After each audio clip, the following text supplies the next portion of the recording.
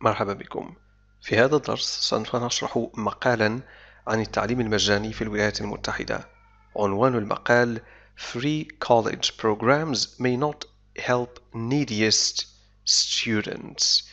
Neediest الأكثر حاجة الأكثر فقرا. Neediest جاءت من need حاجة needy محتاج.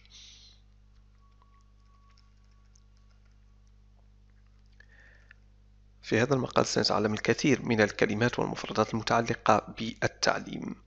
The idea of free higher education is not a new one in some parts of the world. فكرة التعليم العالي المجاني ليست فكرة جديدة في بعض أجزاء العالم. Higher education higher education التعليم العالي but the idea has only recently increased in popularity in the United States as the cost of attending colleges and universities in the country has risen greatly. لكن الفكرة but the idea لم تزدد شيوعا أو شعبية إلا حديثا only recently في الولايات المتحدة حيث تكاليف حضور الكليات والجامعات قد ازدادت بشكل كبير. Colleges كليات colleges universities جامعات has risen greatly ازداد بشكل كبير greatly. Popularity الشعبية والشيوع popularity.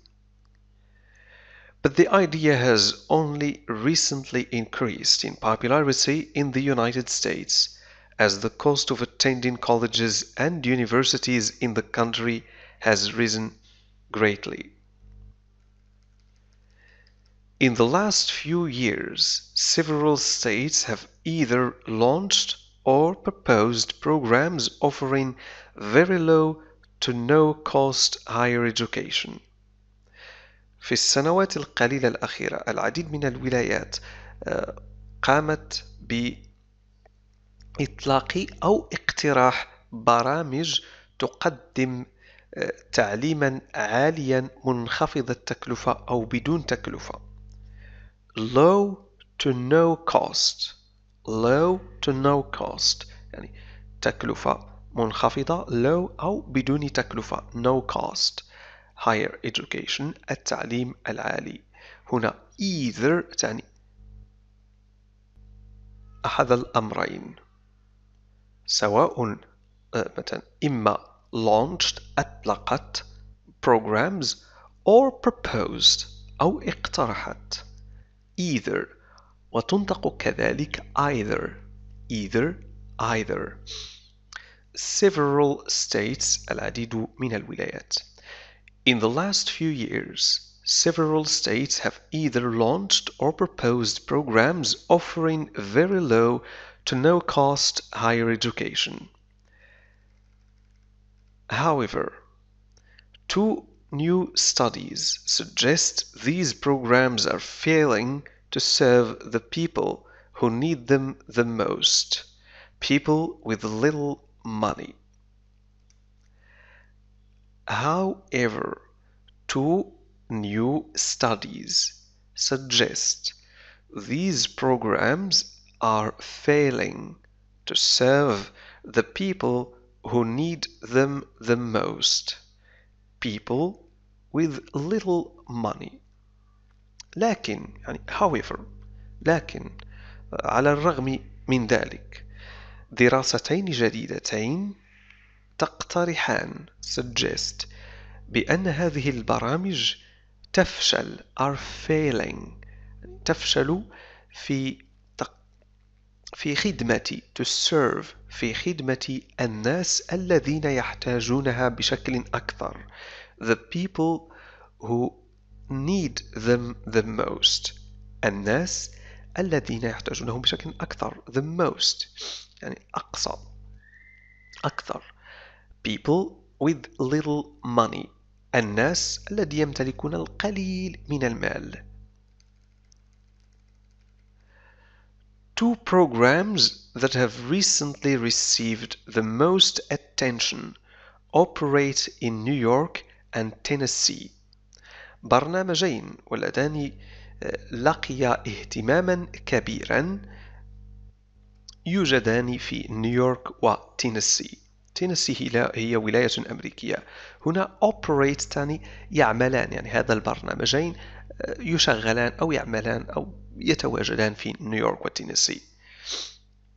Recently حديثا ونستخدم هذه الكلمة عادة مع present perfect لاحظ have recently received فهذا present perfect. لاحظ بأننا استخ... بأنه قد استخدم كذلك في الفقرة الأولى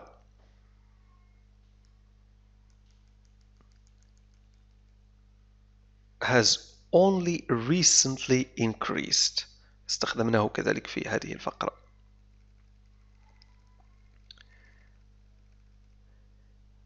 In 2014, Tennessee Governor Bill Haslam created the Tennessee Promise Program. This program covers tuition costs for anyone in the state who wants to attend one of Tennessee's two-year community colleges. In 2014, حاكم Tennessee, Tennessee Governor Bill Haslam created the Tennessee Promise Program أنشأ برنامج Promise في تينيسي برنامج يسمى Promise. هذا البرنامج يغطي تكاليف التعليم لكل شخص في الولاية يريد حضور دراسة تتكون من سنتين في كليات المجتمع. Two year community colleges. أي دراسة تتكون من سنتين فهذه البرنامج يغطي تكاليفها. Tuition costs. وtuition costs تعني تكاليف التعلم في الجامعة.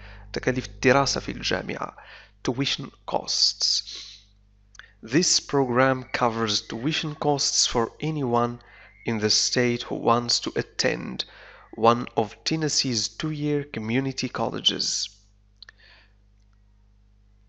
سأنشر الفيديو تكملة هذه الفق... هذا المقال في الدرس الثاني